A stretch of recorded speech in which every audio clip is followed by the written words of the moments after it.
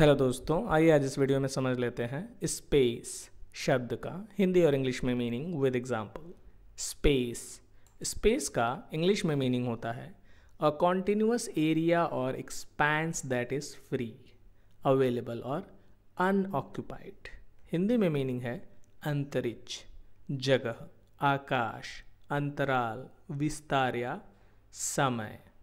चलिए इसको एग्ज़ाम्पल से समझते हैं।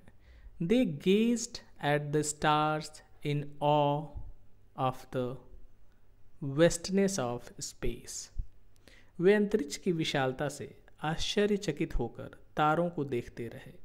They gazed at the stars वो तारों को देखते रहे या घूरते रहे।